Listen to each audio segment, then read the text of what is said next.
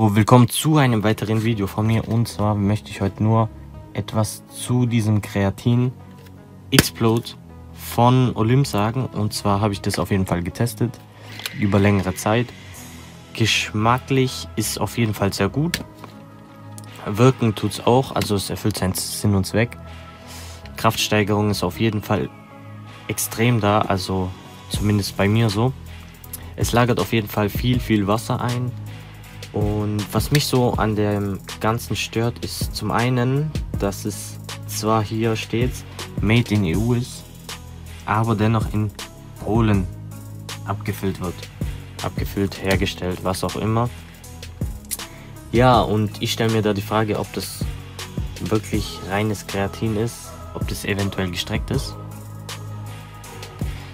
Wenn wir hier auf die Zutatenliste gehen, haben wir sechs verschiedene Kreatinsorten. Hier steht Matrix 6 Strong Blend.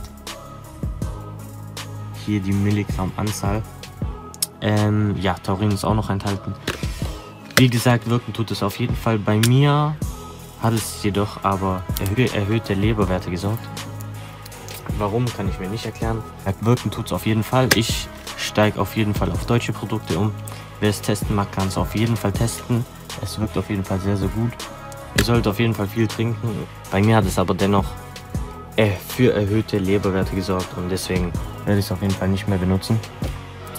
Ähm, das war's dann auch schon vom Video. Wenn euch das Video gefallen hat, dann lasst ein Like da, lasst ein Abo da und dann sehen wir uns im nächsten Video. Peace.